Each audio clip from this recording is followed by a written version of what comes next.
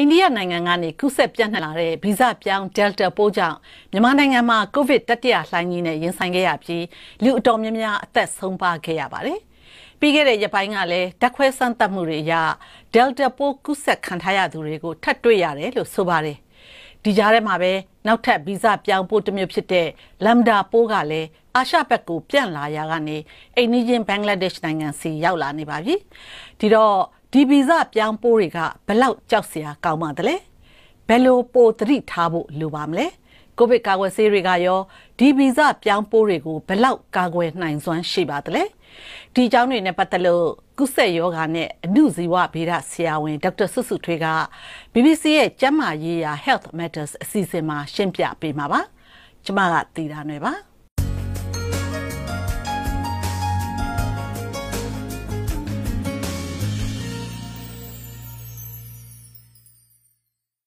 ဒီတော့ဒေါက်တာစုရေလောလောဆယ်မှာဗီဇပြောင်းကိုဗစ်ပိုးဘယ်နှမျိုးလောက်ပေါ်နေပါပြီလဲဒီဗီဇပြောင်းကိုဗစ်ပိုးတွေကမူလကိုဗစ်ပိုးနဲ့ရောဘာကွာပါသလဲ ဗီဇပြောင်းကိုဗစ်ကအများကြီးရှိနေပြီပေါ့နော်လူတွေအသိများတာတော့နှစ်မျိုးသုံးမျိုးလောက်ပဲရှိရဲဒါပေမဲ့အဲ့မှာတစ်ခုလေးထည့်ပြောချင်တာကလေဒီ virus ပိုးတွေဗီဇပြောင်းနေဆိုတာက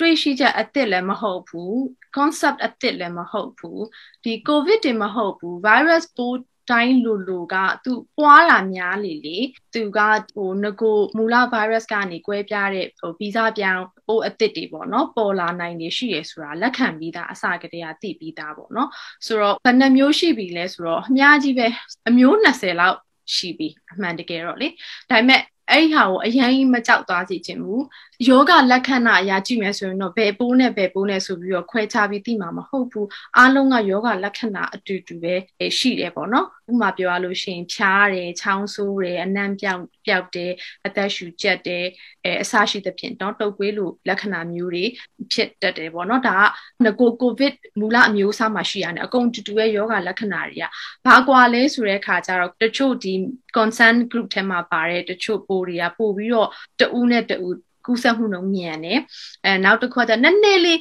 လျောက်ကလက္ခဏာတူပေမဲ့သူတို့ဒီပြင်းထန်ကိုဗစ်ဖြစ်ဖို့အခွင့်အရေးပိုများတယ်ပေါ့နော်ဥပမာ alpha alpha virus မျိုးကွဲကဒီ UK နိုင်ငံမှာဒီ September 2020မှာတွေ့တဲ့ဟာပေါ့နော်အဲ့ဒါရဲ့နောက်တစ်ခု India မှာတွေ့တယ်ဒီ Delta ပေါ့ Delta က December မှာတွေ့ရ2020အဲ့ပိုးနှစ်ခုကပို့ပြီးတော့ကူးစက်မြန်တယ်နောက်တစ်ခုကကြတော့ယောဂဖြစ်လို့ရှိရင်နည်းနည်း လေးပို့ပြီးတော့တခြား beta တို့ gamma တို့ connection လိုက်လို့ရှင်ယောဂလက္ခဏာနည်းနည်းလေးပိုပြင်းထန်တာကိုတွေ့ရတယ်ပေါ့နော်အာရှဘက်ကိုပြန့်လာတယ်ပေါ့လေဒီအင်္ဂလိပ်ချင်းဘင်္ဂလားဒေ့ရှ်နိုင်ငံစီကိုရောက်လာပြီးဖြစ်တဲ့ lambda ဆိုတဲ့ဒီဗီဇပြောင်းပိုးကရောဘလောက်စိုးရိမ်စရာရှိပါလဲ delta လောက်ကော तू ကပြင်းမဲ့အခြေအနေမျိုးတွေ့ရပါလား လမ်ဒကဒီ Peru မှာစပြီးတော့တွေ့ရပါတော့ဒီဇင်ဘာ2020မှာစပြီးတော့တွေ့တယ်လက်ရှိ data အရဆိုလို့ရှိရင်တော့ Peru မှာတော့မှဒီ August လကုန်ထိရတဲ့ data အရဆို ရင်ဒီ lambda case တွေတော်တော်လေးကျသွားတယ်လို့ပြောတယ်ပေါ့နော်ဒီ Bangladesh မှာတွေ့ရဆိုတာကလည်း case အရေအတွက်ကအရန်နေသေးတယ်လေနော်ဆိုတော့ဒီ data လူမျိုးအရန်ကိုကူးစက်မြန်မလားယောဂပြင်းထန်မလားဆိုတာလောလောဆယ် data အရပြောလို့တော့မရသေးဘူးဒါပေမဲ့ Peru data အရဆိုလို့ရှိရင်တော့အဲ့လောက်ဒီစိုးစိုးဝါမဖြစ်ခဲ့ဘူးပေါ့နော်စောင့်တော့စောင့်ကြည့်အောင်ပါပေါ့ WHO ကဒီသူ့ကို variants of concern နဲ့မထည့်ထားသေးဘူးလောလောဆယ်မှာဟိုဆက်ပြီးစောင့်ကြည့်ရမယ်ဆိုတဲ့ပဲထည့်ထားသေးတယ်ဆိုတော့အရန်ကြီးတော့စိုးရိမ်မှုမလွန်ကဲစေချင်ဘူးကိုဗစ်ကာကွယ်ဆေးတွေကဒီဗီဇပြောင်းအိုးတွေကိုပေါ့လေဘလောက်ထိကာကွယ်နိုင်မှာပါလဲအထူးသဖြင့်ဆိုရင်မြန်မာပြည်မှာဖြစ်နေတဲ့ဒီ Delta ပိုးကိုဒီကာကွယ်ဆေးတွေကဘလောက်ကာကွယ်နိုင်စွမ်းရှိပါလဲမြန်မာပြည်မှာထိုးတဲ့ဆေးအများစုကတော့ဒီ Sinovac, Sinopharm နောက် Russia ကလာတဲ့ CE မျိုးပေါ့နော်ဆိုတော့ငကိုရှိနေတဲ့ပိုးတွေဒီ alpha တို့ beta တို့ gamma တို့ကိုတော့တို့ကရာဂိုင်နှုန်းတော်တော်များလေးကာကွယ်နိုင်မှုရှိတယ်အထူးသဖြင့်တော့ပြင်းထန်ကိုပြီးမဖြစ်အောင်ပေါ့နော်ဒါပေမဲ့ တခုကဒီ delta ပိုးနဲ့ပတ်သက်ပြီးတော့ data အများကြီးမရှိဘူးဒီ Sinovac from uh, Sinovac ဆေးတွေနဲ့ဒီ Russia ဆေးတွေကသူတို့ဒီ trial လုပ်တဲ့အချိန်မှာပေါ့နော်ဒီ delta ပိုးကအများကြီးသူတည်တနာလုပ်တဲ့အထက်မှာမပြန့်သေးဘူးလေနော်ဆိုတဲ့အခါကျတော့ data အရန်နေတယ်ဒါပေမဲ့ဒီကမ္ဘာ့ကျန်းမာရေးအဖွဲ့ WHO ကပြောထားတဲ့ recommendation ကိုပဲသုံးပြီးတော့ပြောလို့ရမယ်ပေါ့အဲ့တော့သူတို့ ကြည့်လိုက်တဲ့ဆေးရုံတက်တဲ့ case တွေပြင်းထန်ကိုဗစ်ဖြစ်တဲ့ case တွေပေါ်အရေးအတွက်ပေါ်မူတည်ပြီးတော့တော့တို့ကဘာပြောလဲဆိုတော့တရုတ်ကထုတ်တဲ့ဒီဆေးတွေကရုရှားကထုတ်တဲ့ဆေးတွေကသူအတိုင်းတာတစ်ခုထိတော့ခုနကပြောတဲ့ပြင်းထန်ကိုဗစ်မဖြစ်အောင်ကာကွယ်ပေးတယ်လို့ပဲပြောထားတယ်အတိအကျရာခိုင်နှုန်းအတိအကျနဲ့60ရာခိုင်နှုန်းကာကွယ်တယ်80ရာခိုင်နှုန်းကာကွယ်တယ်ဆိုပြီးတော့ဟိုတခြားကာကွယ်ဆေးတွေလို့ပြောလို့တော့မရသေးဘူးဒီ Delta virus နဲ့ပတ်သက်လို့တော့လေ အခုမြန်မာနိုင်ငံမှာကကာကွယ်ဆေးထိုးပြီးတဲ့သူတချို့လည်းရှိတယ်တချို့ကလည်းတစ်ချိန်ပဲထိုးရသေးတချို့ဆိုလို့ရှိရင်နှစ်ချိန်ထိုးပြီးသွားပြီပေါ့လေအဲ့တော့ဒီလိုကာကွယ်ဆေးနှစ်ကြိမ်ထိုးပြီးသွားပြီဆိုလို့ရှိရင်ကိုဗစ်ရောဂါဒဏ်ကိုဘလောက်ကြာကြာခံနိုင်ရရှိပါလဲနောက်တစ်ခေါက်ဘယ်အချိန်လောက်ဆိုလို့ရှိရင်ထပ်ပြီးတော့ ထိုးတင်ပါတယ်လေခုလက်ရှိရှိနေတဲ့ data ကိုကိုးကားပြီးတော့ပဲပြောရမှာပေါ့နော်အဲ့တော့ဒီ completely vaccinated definition ကတော့ဟိုဆေးနှစ် dose လုံးထိုးပြီးပြီးတော့အနည်းဆုံးနှစ်ပတ်ဒုတိယ dose ကနေနှစ်ပတ်ကြာတဲ့အချိန်ပေါ့နော်အဲ့ဒါကို vaccine အပြည့် ထိုးပြီးပြီလို့သတ်မှတ်တယ်ပေါ့နော်အဲ့တော့ vaccine အပြည့်ထိုးပြီးပြီးတဲ့သူတွေကအနည်းဆုံးတော့6လလောက်အထိသူတို့တော်တော်လေးကိုဒီပြင်းထန်ကိုဗစ်မဖြစ်အောင်ကာကွယ်ပေးတယ်ဆိုတဲ့ data တွေထွက်ရှိလာပါတယ်ဒါပေမဲ့ဒီ6လ9လနောက်ပိုင်းလောက်မှာဆိုသူ antibodies လေးတွေကလေနည်းနည်းကျသွားတယ်ပေါ့နော်ကျသွားတတ်တယ်အဲ့ဒါကြောင့်မို့လို့ဒီဘက်အနောက်နိုင်ငံတွေဘက်မှာတော့ဒီ booster လို့ခေါ်တာပေါ့တတိယ dose ကိုထိုးဖို့လို့အခုစပြီးတော့ပြင်ဆင်နေကြပြီပေါ့နော်ဟိုကျမတို့ဒီမှာဒုတိယ dose ထိုးထားတာဆိုလို့ရှိရင် February March လောက်မှာပေါ့အခုသူတို့ပြန်ပြီးတော့ booster အတွက်အဲစပြီးစဉ်းစားတာကဒီလကုန်ဒီ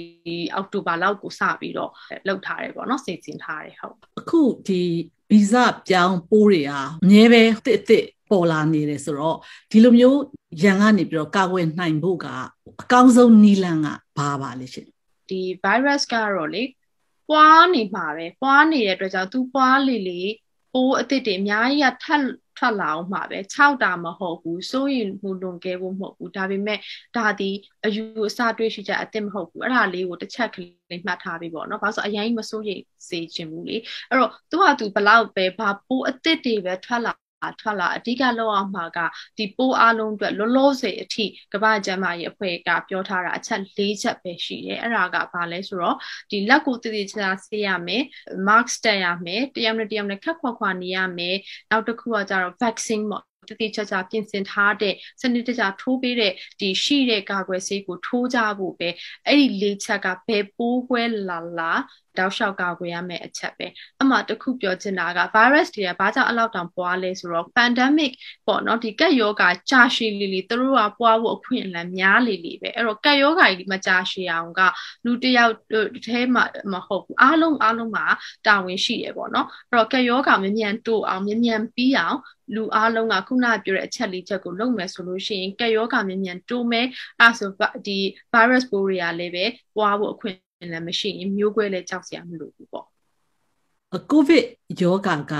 တုတ်ကွေးကာကွယ်ဆေးလိုပဲနှစ်တိုင်းလိုလိုထိုးရမယ်သဘောပါလား လေအဲ့လိုသဘောဖြစ်နေတာပေါ့နော်အခုက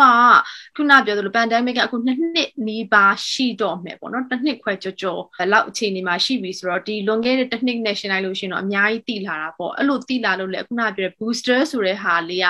ထွက်လာတာလीเนาะအခု booster ထပ်ထိုးရမယ်ဆိုတော့အဲ့ဒီ booster ကြည့်ပြီးရင်တော့သိမယ်ဘာဖြစ်လို့လဲဆိုတော့အတိအကျပြောလို့မရဘူးခုနကပြောသလိုဒီ covid ကာကွယ်ဆေးထိုးပြီးလို့ရှိရင်ခန္ဓာကိုယ်ထဲမှာ antibody အရေးအတွက်ဘယ်လောက်ထွက်မယ်ဘယ်လောက်ထွက်လို့ရှိရင်ဘယ်လောက် ကာကွယ်တယ်ဆိုတဲ့ဟာတွေကအခုမှစမ်းသပ်တုံးရှိသေးတာ哦အဲ့တော့အဲ့ဒီဟာတွေသိလို့ရှိရင်ပို့ပြီးတော့အတိအကျပြောနိုင်မယ်ဟုတ်ပြီဒါဆိုရင်တော့တစ်နှစ်တစ်ခါလိုမယ်ဒါမှမဟုတ်နှစ်နှစ်တစ်ခါလိုမယ်သို့မဟုတ်6လတစ်ခါလိုမယ်ပေါ့အဲ့တော့ဖြစ်လာ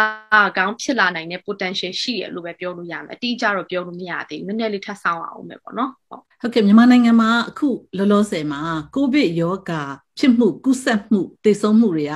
ဟိုနည်းနည်းလေးအရှိန်လျော့သွားပြီပေါ့လေအဲ့တော့ ဒါကကိုဗစ်ရောဂါကနေပြီးတော့ဟိုအခြေအနေကရောကျသွားပြီလို့ဟိုတစ်ချစ်ချသတ်မှတ်လို့ရပါလားမရဘူးအဲ့ဒါဘာလို့လဲဆိုတော့လေအခုနိုင်ငံတိုင်းကိုတေချာပြန်ပြီးတော့ကြည့်ကြည့်လိုက်အခုဥပမာအနေနဲ့ပြောရမယ်ဆိုလို့ရှိရင်ကျမတို့ဒီဘက် UK ဘက်မှာဆိုလို့ရှိရင်တိတိတသားလေးကြာသွားတယ်เนาะတတိယလှိုင်းအပီးလောက်မှာလွန်ခဲ့တဲ့9လ6လလောက်မှာတော်တော်လေးကိုကြာသွားတယ်လူတော်တော်များလည်း vaccine ထိုးပြီးသွားတဲ့အတွက်ကြောင့်ယောဂဖြစ်မှုကအရန်ကြာသွားတယ်ဒါပေမဲ့အခု ဒီဆေးရုံမှာကိုဗစ်လူနာတွေနဲ့ပြန်ပြီးတော့ပြည့်လာတယ်ဘာလို့လဲဆိုတော့အခုပြန်ပြီးတော့ဖွင့်ပြီလေအကုန်လုံးဆိုင်တွေလည်းပြန်ဖွင့်ပြီအဲရုပ်ရှင်ရုံတွေနော်ပွဲလန်းတပင်းတွေအကုန်လုံးပြန်ဖွင့်တဲ့အချိန်မှာလူတွေကသွားကြပြီပေါ့ဟို mark store တက်နေရသေးတယ်ဒါပေမဲ့အဲ့လိုဖွင့်လိုက်တဲ့အတွက်ကြောင့်မလို့လူတွေဒီပြုံတိုးမယ်သွားမယ်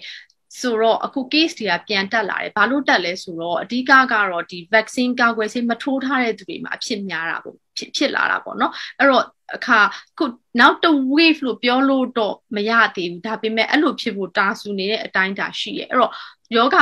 ဖြစ်တဲ့နှုန်းတွေကျသွားပြီတေဆုံးနှုန်းတွေကျသွားပြီဆိုပြီးတော့ပေါ့လို့မရဘူးဒီ WHO က